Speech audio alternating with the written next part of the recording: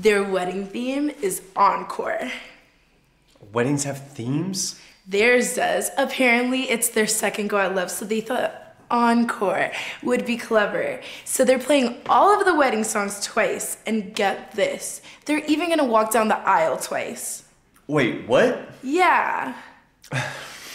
That's the dumbest thing I've ever heard. I know, if I got married, I'd You'd what?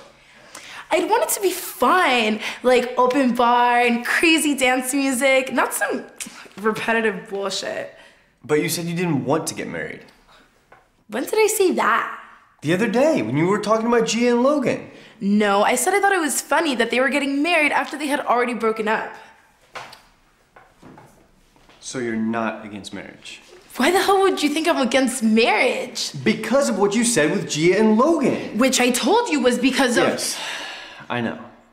So if I were to ask you, you'd say yes. If it were the right time. Is now the right time? Ha ha. I've been trying to figure out how to do this. oh my god. Oh my god. Bella?